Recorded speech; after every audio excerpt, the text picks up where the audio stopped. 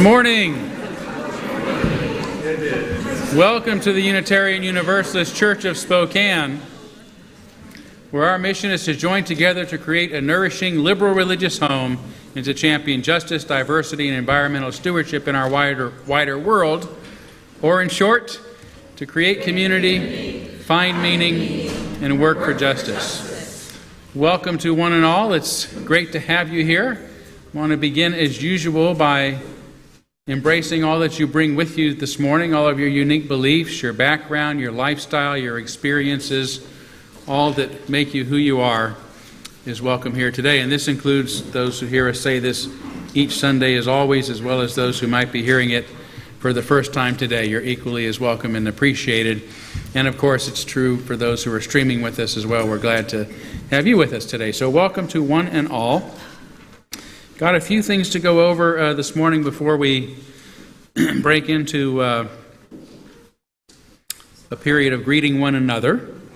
And I think we're going to start with a couple of special announcements from uh, Marianne Winifred and Doug Hugan. Hello, this is the month of the annual dinner.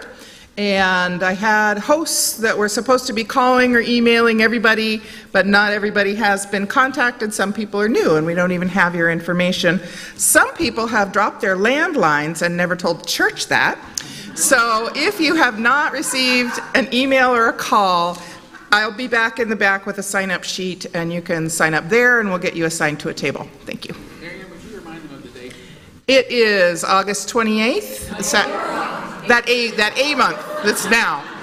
April, April 28th at 5:30. Thank you.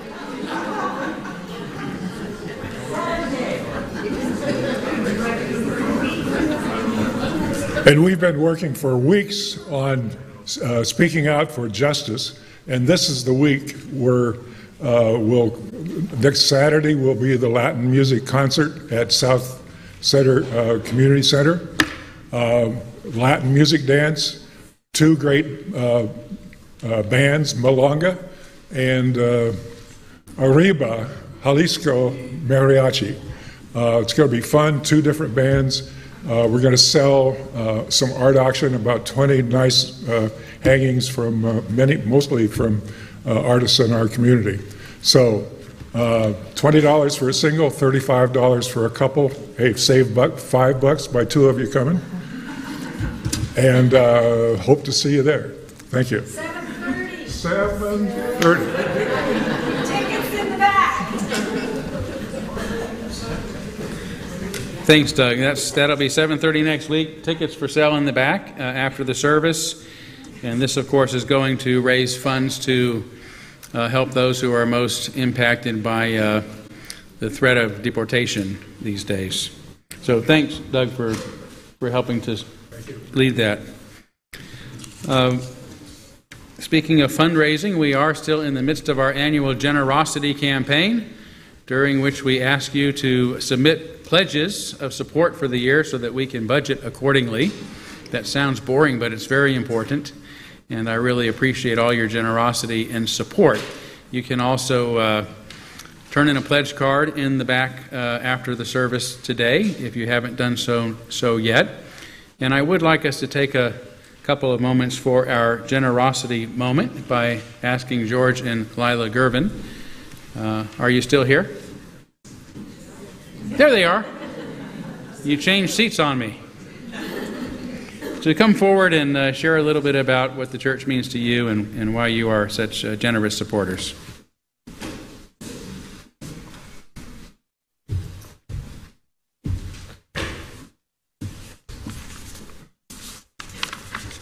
Good morning. So Cindy Phillips asked us to recount our history with this church, and this is um, our short version of it's. It's got much more history, but this is our little version today. Our um, our interest and support started during um, another turbulent time. Uh, maybe all times are turbulent, but it seemed so uh, at that time, and as it is today.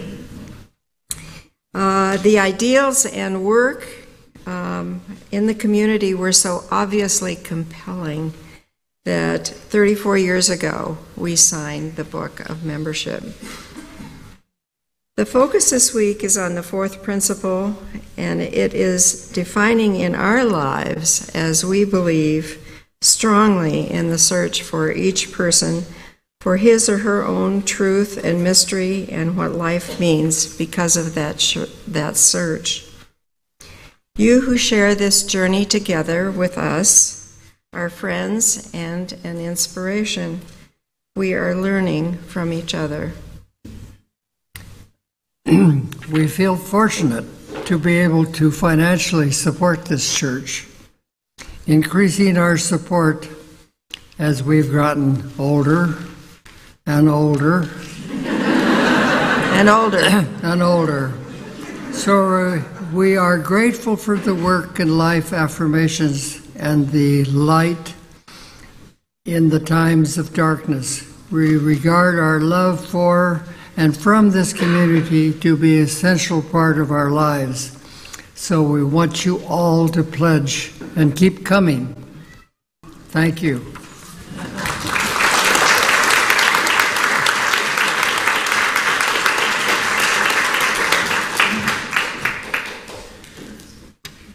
George and Lila, thank you both so much for your glowing spirits and for your generous support. Let's do take just a few moments to greet one another. I might have to cut it a little short this morning because we've got a, a, a big service, but uh, do take a few moments to greet one another. And as always, I hope you'll make some new friends today.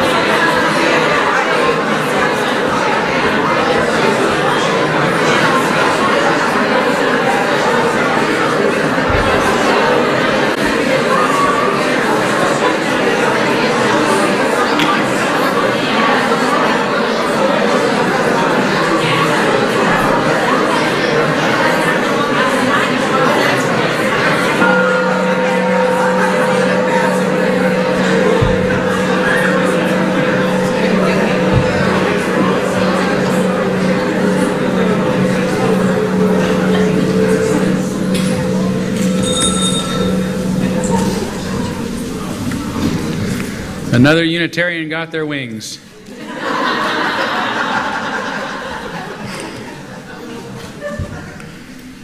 Well, as always, there'll be more opportunity to, to visit after the service, so I do hope you'll stay for that. But right now, we are going to move forward by lighting our chalice, the symbol of our faith, the symbol of our unity and our solidarity, of our openness and our inclusion, of our community and our individual uniqueness.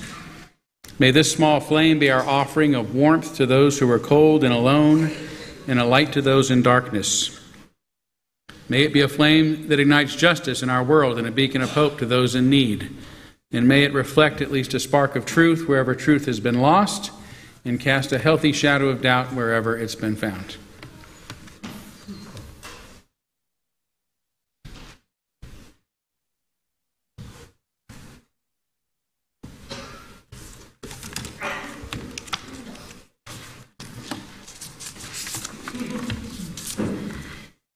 The opening words were written by the wonderful author and poet Khalil Gibran.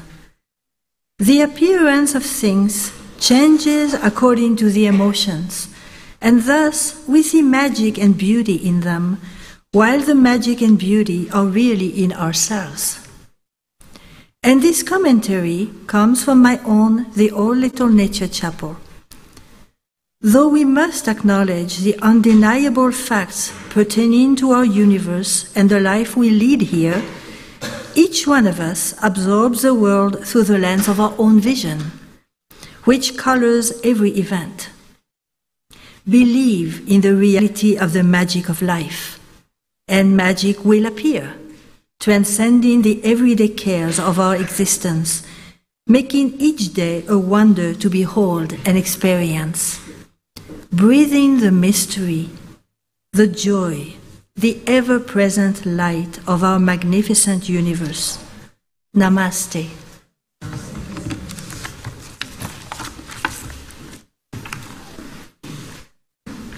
We're going to start this morning by singing uh, something that's sometimes called the UU prayer in our hymnal.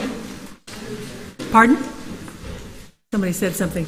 Um, so we're going to do Spirit of Life, which is number 123. Please rise as you're willing and able. Twice through.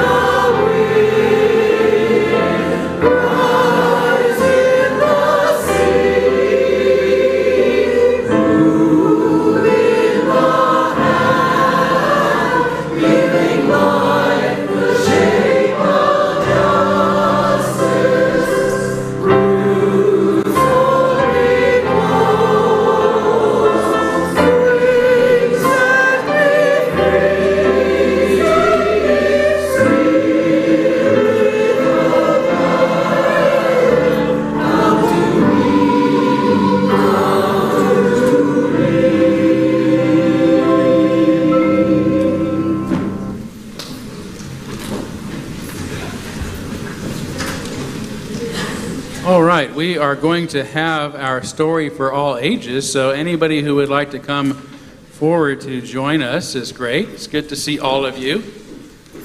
Good to see my friend Sophia. I was thinking about you when I was writing my sermon because I mentioned philosophy. You know what the word philosophy means? Phileo Sophia. It means the love of wisdom. You know, you know, Sophia means wisdom, I'm sure. Yeah. So I was thinking about you every time I think of philosophy. I think of Sophia, Lady Wisdom. Good to have you guys. You know, I usually bring a puppet, but I didn't quite bring a puppet today because I wanted to instead talk about a puppet, a famous puppet. Who's the most famous puppet you can think of? Muppets? Eh, darn it.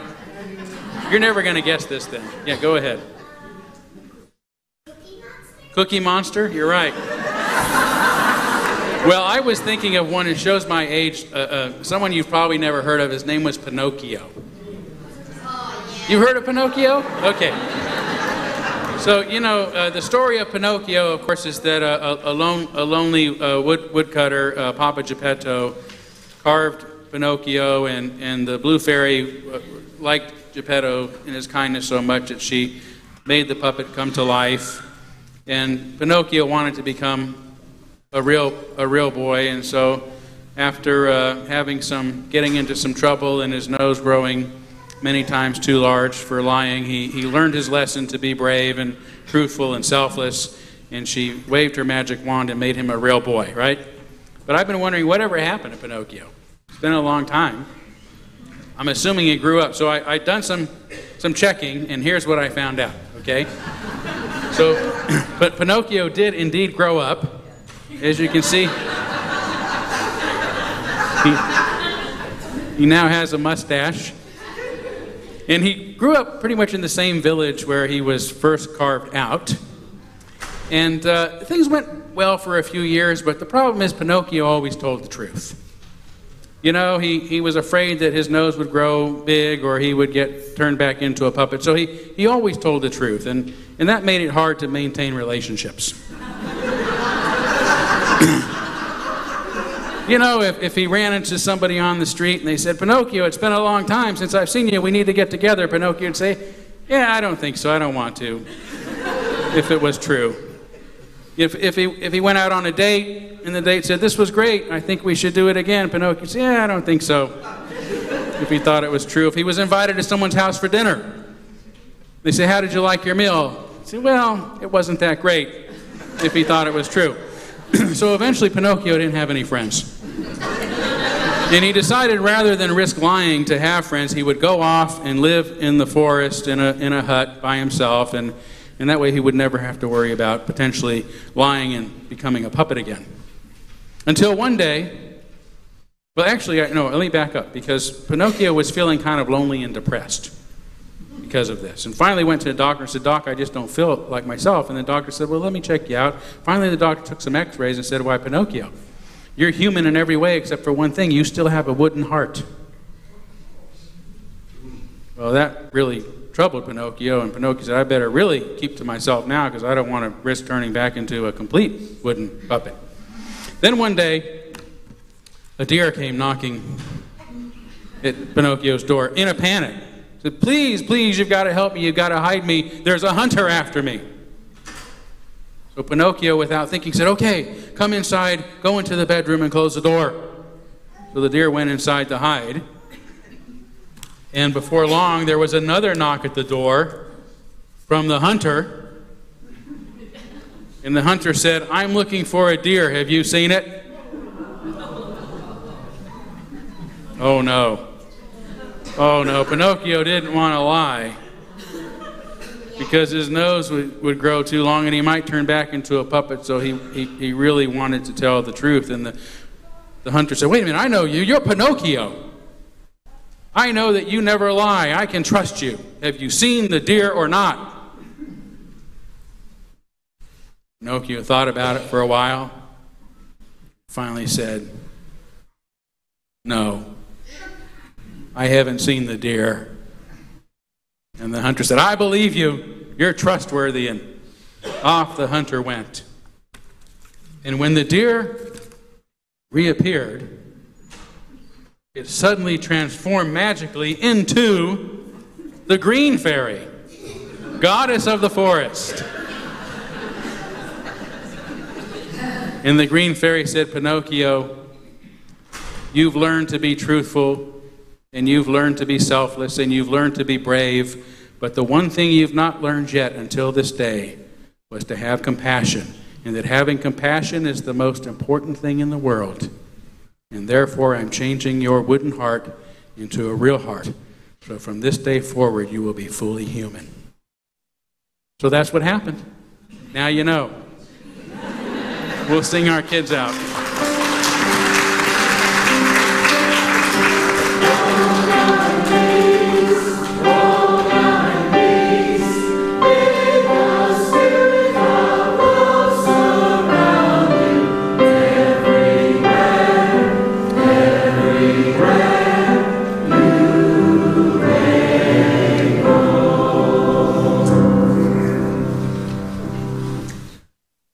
It is now our great privilege and honor to be able to welcome some new members to our congregation. For so, for all of those who are new members, uh, going to sign our membership book this morning, would you please come to the front of the church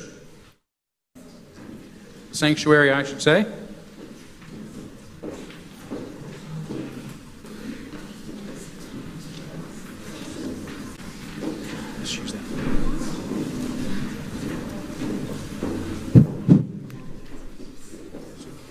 So, just turn around and face the congregation, if you will.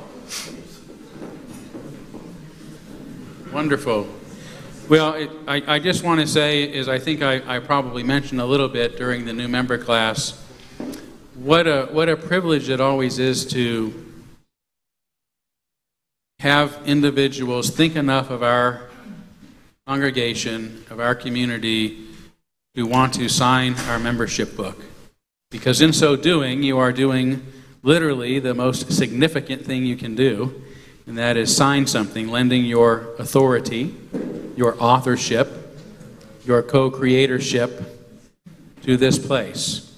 So it, it, it says as much uh, about us. It does, it does us such a great honor for you to sign our membership book, and we really appreciate it. So I'm going to uh, pass the microphone down and ask each of you just to sort of say your name so folks can begin to put a, a name with a face, and then we will uh, ask the congregation to do a responsive reading and, and, and welcome you officially as well. Aya Batterson. My name is Michaela Barrett. I'm Dr. Kelly Rasmussen. Michelle Rasmussen. Angel Visnicker. Ayla Teggy. Nate Doran. Diane Huffman. Naomi Rose Lovett. Donovan O'Donovan, aka Pinocchio.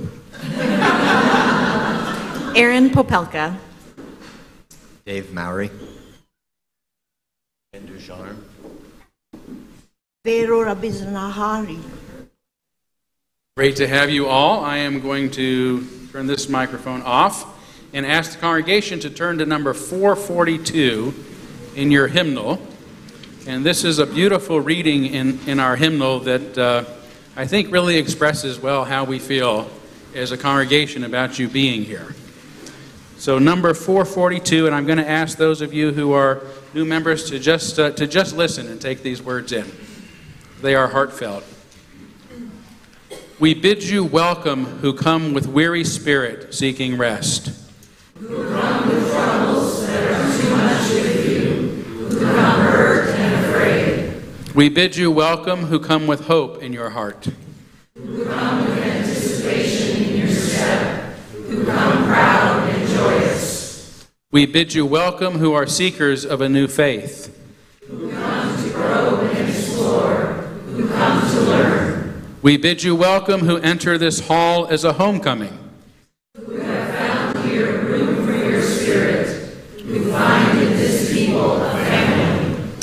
Whoever you are, whatever you are, wherever you are on your journey, we, bid you welcome.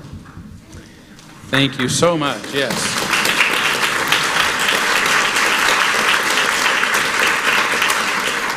And we are going to sing a congregational hymn in a moment, indicative of the relationship I think that we have as a church community. And I'm going to invite you to officially sign our membership book and then take your place among us. And I think we're going to hand you a rose, also symbolic of a song we sing uh, of, of our togetherness, even though there's some prickliness to it from time to time.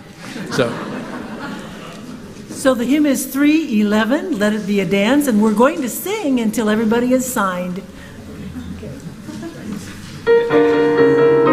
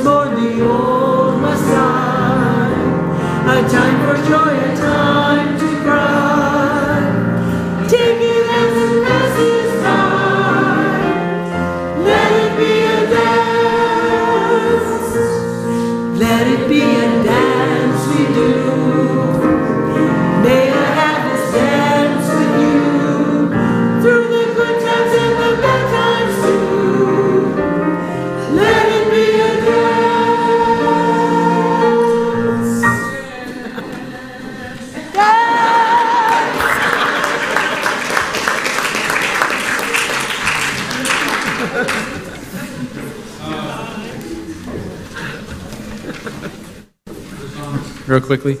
Some, somebody famous said, uh, let them eat cake. And so after the service, there's going to be cake in honor of our new members.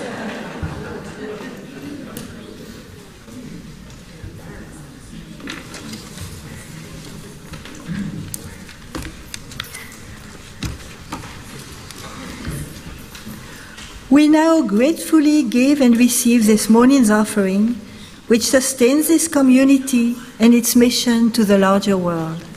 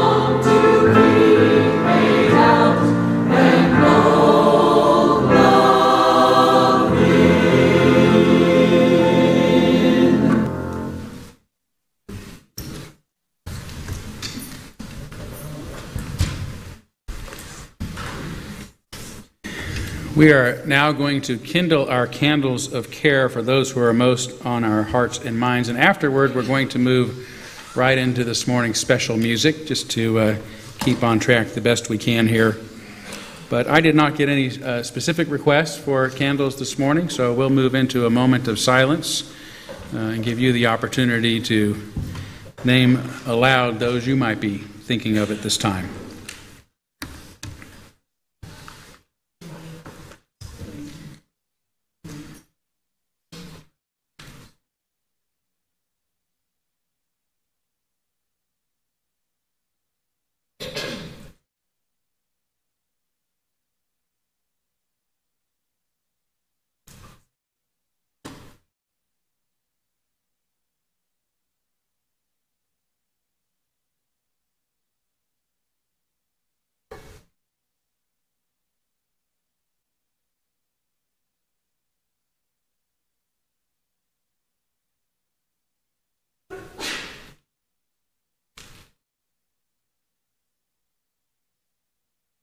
Those named aloud and those embraced in our silence, and all those who are suffering in our world at this hour, we hold in our community with compassion.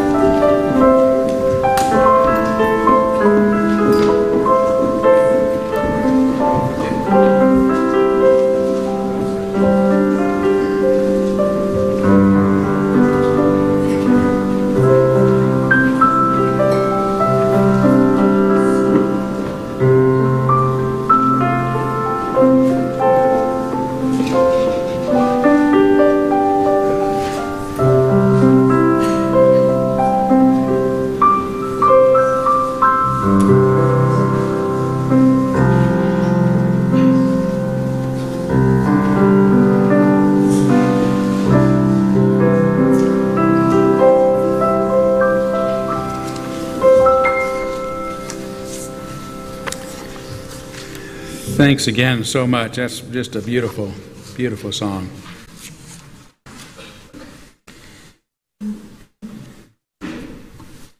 Something perhaps not so graceful as that song, if you missed it, uh, about three weeks ago, a California man launched a homemade steam rocket in the Mojave Desert in his continuing quest to launch himself into space. How many of you caught that?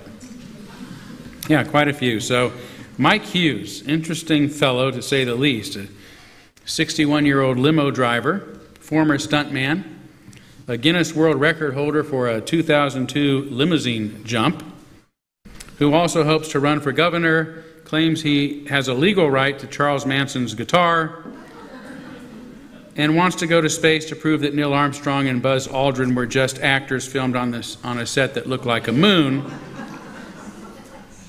and to prove that the Earth is really flat. I'm not sure, or, or I'm, I'm pretty sure most of us at least would agree that Mr. Hughes doesn't need to build a rocket to go to outer space.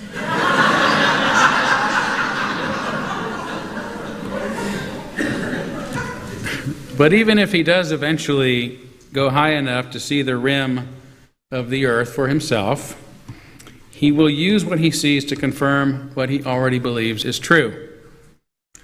Many of today's flat earthers, as they're, as they're called, succumb to this same confirmation bias to explain already existing images of the earth from space.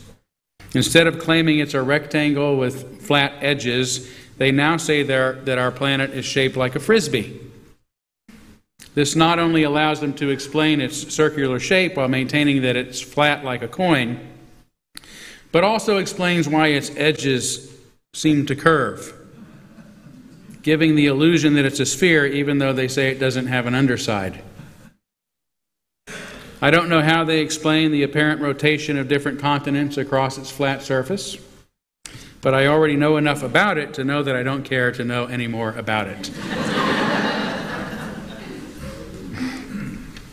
the point that we should not miss, however, is that Mike Hughes is an intelligent person. Intelligent enough to construct a launch pad out of his mobile home, build a rocket, a steam powered rocket, and launch himself more than 1,800 feet into the air.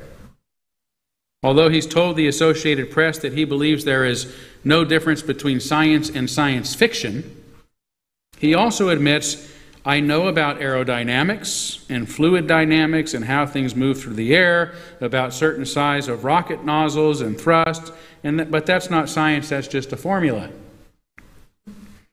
So whether he considers it science or not, and no matter how unfounded and ignorant some of his beliefs obviously are, Hughes is also obviously an intelligent person. Now, this is kind of a whimsical example of a common phenomenon in our society, the confirmation bias, interpreting the facts in ways that unreasonably affirm our pre existing beliefs, that often has far more serious consequences. Some engage in pseudoscience to counter the claims of actual science. Now, pseudoscience, to be clear, is not just a, a made up insult, it is the use of scientific sounding language to explain certain ideas that haven't actually undergone the scientific method. Regarding global warming, for example, many who wish to maintain the status quo of exploiting and destroying our environment initially claim that there is widespread scientific disagreement about whether it's even happening when it became no longer possible to deny that it is happening without sounding utterly ignorant, and I know there are some who still prefer to sound utterly ignorant, they used this same argument to suggest that there is widespread disagreement among scientists about its causes. These false assertions pit science against science without ever actually addressing scientific facts. Others have more creatively taken certain facts, like acknowledging that the Earth periodically undergoes abrupt climate changes, to argue what we're experiencing is natural and by implication is caused isn't caused by human activity and by further implication there's nothing that we can do about it and thus there's no need to change our ways. The problem is simply stating a scientifically accepted fact then using it to prove one's bias isn't the same as science those claiming that today's global warming is cyclic haven't engaged the scientific method to prove their hypothesis. The claim global warming is based upon human activity, on the other hand, has a great deal of convincing scientific evidence behind it. Still others, like Hughes, believe the moon landing never happened, just simply dismiss what they wish, what they don't wish to believe as a hoax or in today's terms, is fake news. And this has been a disturbing trend in response to some of the most horrific mass shootings in our country. Rather than admitting that we need to make it illegal for citizens to own machine guns, some conclude that mass shootings, like the one responsible for the deaths of 21 first graders at Sandy Hook Elementary School, are a hoax perpetrated by the liberal news media. Almost immediately following the mass shooting at a concert in Las Vegas last year, leaving 50 dead and 500 wounded, the crisis actor meme was invented, discrediting actual victims and survivors as paid actors, like Armstrong and Aldrin, perpetrating a hoax. Some of them were inundated with so many crude, heartless comments accusing them of fraud or worse, they were forced to delete their social media accounts. The same cruel and insane accusations were also immediately hurled at student survivors of the recent shooting spree at the high school in Parkland, Florida. Whether they call what they don't want to hear a hoax, crisis acting, or fake news, or else turn on faux news to hear what they do want to hear, having their biases falsely confirmed. Many in our society, many intelligent people, treat the truth as something they get to make up as they go along, often on a whim, with no duty to be objective or thorough in its pursuit, and no duty to have integrity and be honest, at least, with themselves. And all of this leads to one of the questions that I want us to explore today. Why do smart people believe ridiculous things? Firstly, I would say it's because the truth hurts. The truth is a lot harder to believe than our myths. The truth may set us free, but true freedom often comes with a difficult price the feeling of being alone, excluded, even persecuted for expressing our own authentic beliefs. Many of us prefer almost anything to being isolated from the comforts and benefits of society, from the feeling of belonging, even if it means conformity and hiding who we really are, sometimes even from ourselves. Erich Fromm said that our deepest need is the need to overcome our separateness, to leave the prison of our aloneness. We naturally want to be accepted by others, he said, but the modern person wants to be accepted by everybody and therefore is afraid to deviate in thinking, feeling, and acting from the cultural pattern. Or as Bertrand Russell once more succinctly said, People's opinions are mainly designed to make them feel comfortable. Truth, for the most part, is a secondary consideration. When this happens, we develop an authoritarian conscience, meaning that we are willing to let external authorities do our thinking for us, no matter how absurd, that thinking might sound. We internalize the mind of the authoritarian as our own, mistaking its thoughts as our own. Very often, this interaction of internalization and projection, Fromm says, results in the ideal character of the authority, a conviction which is immune to all contradictory empirical evidence. In other words, the facts not only don't matter to us, we become immune to them and are thus free to believe whatever the hell we want. This explains why a person who says things as absurd as Donald Trump can appeal to so many in our country. Claiming things like President Obama was born in Kenya, that Mexico will pay for his border wall, that he prefers war heroes who don't get captured, that he'd rush in unarmed to face a school shooter, and that he could stand in the middle of Fifth Avenue and shoot somebody and still get elected. The more absurd he sounds, the more powerful he seems. Credo quia absurdum est, Fromm calls it. I believe because it is absurd.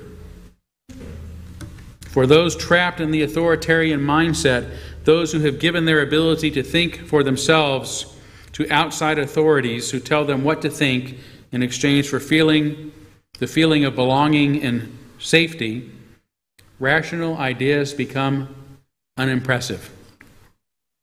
If, however, one dares make a statement which is rationally absurd, Fromm says, the authority shows by this very fact that one has transcended the faculty of common sense and thus has a magic power which puts one above the average person. In short, to some, the more absurd, the more extreme and irrational an authority sounds, the more godlike they become. In light of what's going on in our country today, I would say this explains a lot. Keep in mind, Fromm wrote this in 1947 in response to what had just happened in Nazi Germany. Another reason that smart people believe ridiculous things is because human society seeks to control the ideas of its populace and always has. This explains historical ideological events like the Crusades, the Inquisitions, fascism, McCarthyism, and the Cold War. Just as biology seems to care more about the information in our genes surviving than for the individual host organisms of such information, the powers that be care little for individuals or their ideas, yet are obsessed with making sure certain ideas remain dominant forever. Passed on from one generation to the next, which explains why so many people today still adhere to ancient religious beliefs. So we can't blame the authoritarians who may be acting instinctively on behalf of the parasitic ideologies that have hijacked the minds of their host preventing them from thinking on their own. Our authoritarian systems, which benefit only a few dominant ideas designed to exclude a wide range of thinking and free thought, control the meme pool in a variety of ways. In the past, this has occurred by adopting official creeds and declaring those who express otherwise to be heretics. Holding illegal ideas was then considered a crime, punishable by torture and death. In more recent years, in the U.S., those holding ideas differing from those of the status quo, particularly those ideology, ideologies that rewarded their compliant hosts with power and wealth, were officially declared dangerous, a threat to national security, traitors, and unpa- unpatriotic threatening them with imprisonment and unemployment. More recently, those who've benefited most from parasitic authoritarian memes They've used the power and wealth their symbiotic relationship has afforded them to take over the nation's flow of information. So their preferred ideologies can dominate our national discourse. We saw that just this week, right?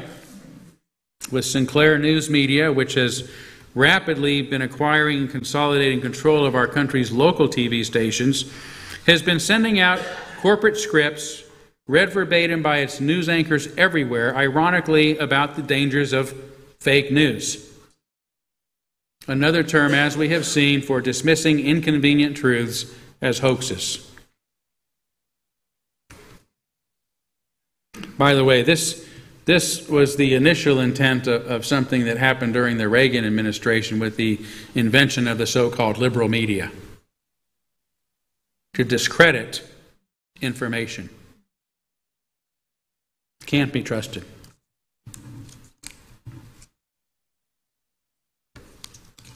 Another problem is that the truth from our perspective is always relative and incomplete. It's hard to know exactly what the truth is.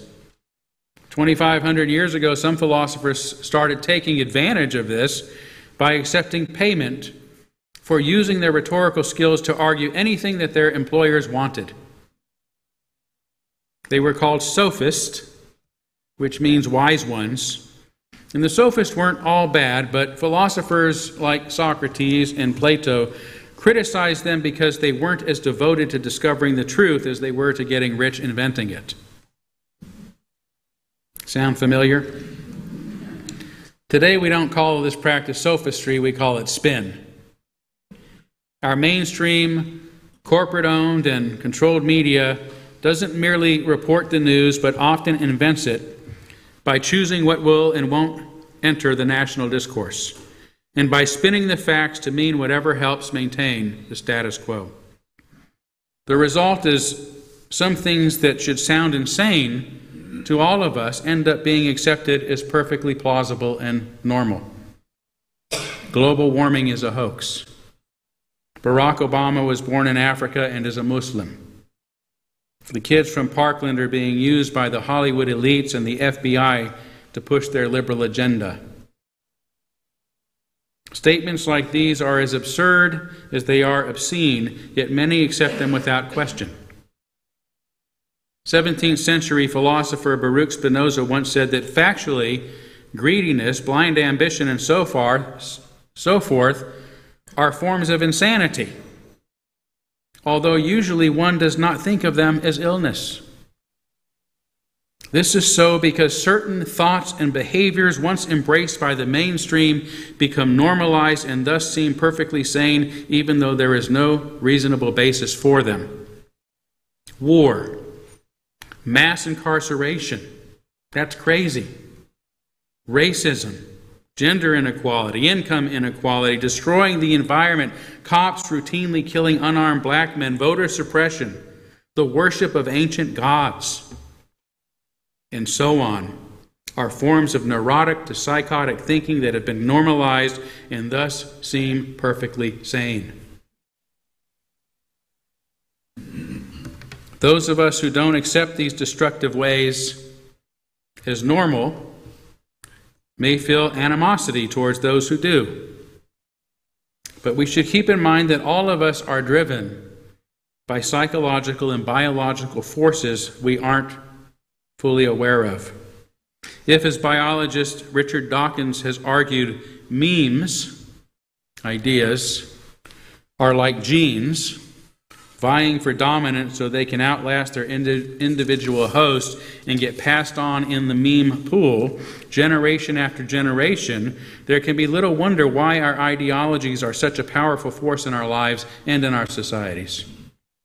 As I've mentioned before, some neurologists now say that the sense of knowing, which feels like a rational state, is really an emotional state. The feeling of knowing that is accompanied by a flood of dopamine to our pleasure centers. In other words, knowing the belief that we are right feels great. So we are physically wired chemically programmed to argue in favor of our ideas, not only because it feels good to prove ourselves right, at least in our own minds, but also because it feels rotten to feel wrong.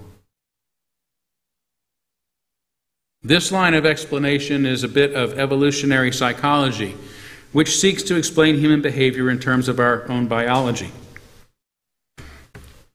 So hard as it is not to take an adversarial attitude towards those we disagree with, we should keep in mind this possibility that the same unconscious biochemical forces driving some to promote their ideologies at the expense of all others may be the same forces driving us to promote our own beliefs. As one who considers myself a smart person, by my own line of reasoning, I must admit the possibility that I too might believe some ridiculous things, even though they feel perfectly reasonable to me. What I've tried to do so far is expose the processes by which such thinking occurs with some extreme and therefore obvious examples of faulty biased beliefs. What I really want us to grasp, however, is the process itself, which may underlie our own seemingly less extreme thinking. I've seen many people who share my beliefs rush to defend their ideas at all cost, sometimes by shutting down genuine conversation to avoid the risk of other ideas rising to the forefront. I've seen how quickly some mundane, practical matters turn into moral arguments because of the feeling our ideas are not only right, but therefore righteous. And I know that I am not above committing the confirmation bias myself or selecting only the facts supporting my pre existing beliefs, or spinning them in favor of my ideas, or inflating my mundane beliefs into moral imperatives. Yet, after all this, I don't believe it has to be this way. I don't believe we as individuals, as a species, or as a society are condemned to live out our lives in this way as unwitting pawns in a game of ideological dominance. Although my evidence is personal and anecdotal, I believe it's possible for not knowing to feel as good as knowing does. It is possible to rewire our brains so that our dopamine reward comes from questioning our own beliefs as well as those embraced by the mainstream. This is what my background in philosophy has ultimately done for me by forcing me to admit that the truth, if it exists, is unknowable. And the best I can do is expose the faults in my own thinking and the thinking of others. This attitude has led to my appreciation of humanity's mystical traditions, those traditions that prefer not knowing to knowing to living, that is, in the mist, in the mystery. Mystery within mystery is the gateway to all understanding, the Tao Te Ching tells us. Similar to other religions like Hinduism that says one can only say not, not, neti, neti. It is ungraspable, for neti cannot be grasped. Or Christianity's St. John of the Cross, among others, who said, The soul travels to God by not knowing rather than by knowing. Or Judaism that says, Every definition of God is heresy. Definition is spiritual idolatry.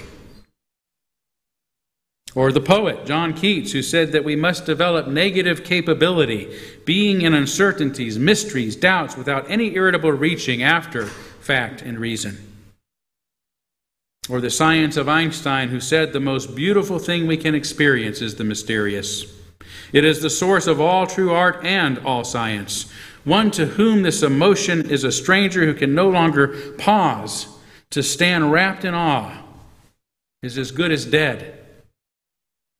Or as the philosopher James Carse says, knowing that we don't know is not only a higher ignorance, it is the basis of all our hope. Mysticism, as statements like these indicate, has persisted throughout time in a variety of disciplines and traditions, proving it is possible for us to live fulfilling, meaningful, inspired lives without clinging to our ideas, without the need to know, without the irritable reaching after fact and reason. This isn't to say that we need not pursue the truth or that we should not be committed to it, only that paradoxically, the more that we seek it out, the more we come to accept that it is ungraspable. Neti, neti, not this, not that.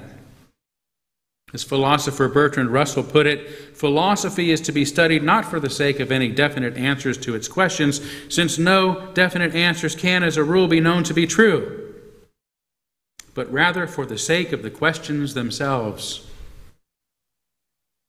Mysticism and philosophy, as I have said before, isn't about piling up the truth, but about chipping away at it, like a woodcarver or a stonecutter, ridding ourselves of what we think we know in order to find the truth in the empty spaces we'd otherwise not consider. I do not believe that all truth is subjective, as Kierkegaard said, but I do think it's always experienced subjectively, filtered through our human limitations and our personal biases. So, what I'm suggesting here is another way of living, another way of being together, in which we all admit we don't know the truth and begin behaving and relating to each other as if this were so. Imagine a world in which our leaders, our priests, and our politicians, instead of being authoritarian ideologues, admitted their uncertainties, didn't claim superiority over others, and were open to discovering new ideas and new ways. Imagine that world. The truth is a myth at least the notion that we can possess it is. But as I said, myths are easier to deal with than reality, so many of us would prefer to go on pretending to know the truth. I personally prefer to live without it. Thank you.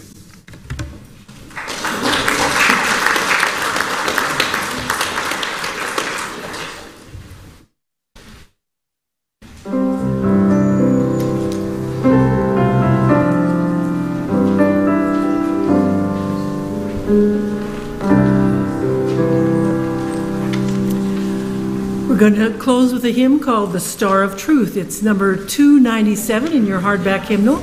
Please stand as you're willing and able. Then would you play it through all the way, Marina?